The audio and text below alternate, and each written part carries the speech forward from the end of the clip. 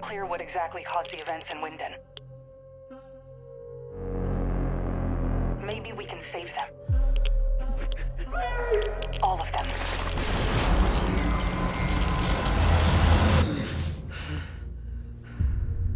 Where did it all begin? In the small town of Winden, a 15 year old boy disappeared under fairly mysterious circumstances.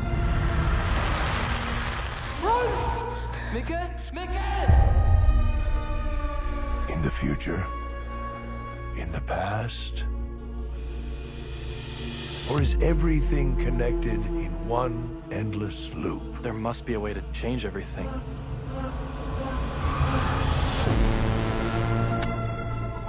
It's gonna happen again. Tick tock, It is time. tick tock. The role you play in this is bigger than you think. There is also a way.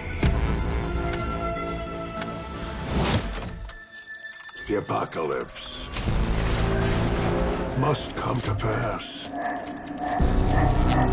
Tick tock. Tick tock.